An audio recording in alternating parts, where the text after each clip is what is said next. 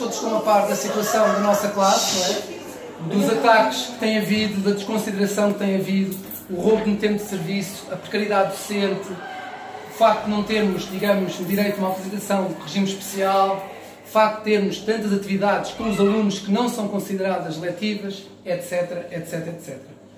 E basta também que nos tentem enganar. Vocês viram que o Ministério da Educação sucessivamente tentou enganar a classe docente, nomeadamente com o compromisso em novembro passado, em que depois não insiste, ou melhor, insiste em não cumprir. E de facto não podem continuar a enganar a classe docente como têm feito.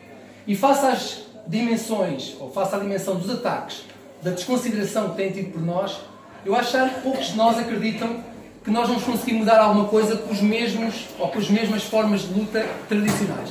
Acho de facto é importante mudar, demonstrarmos que inequivocamente estamos revoltados, não vamos aceitar que continuem a desprestigiar e a roubar a classe docente e nesse sentido eu acho que é importante nós juntarmos forças independentemente de quem é que tomou a iniciativa.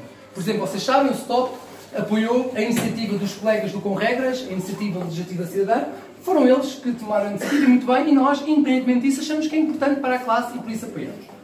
Como saberão, estão convocadas neste momento dois ciclos de greve às reuniões de avaliação.